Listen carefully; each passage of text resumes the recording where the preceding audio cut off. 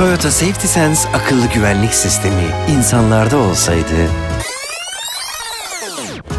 O kızla filmlerdeki gibi çarpışamazdınız. Takip mesafenizi kapatıp ona dokunamazdınız.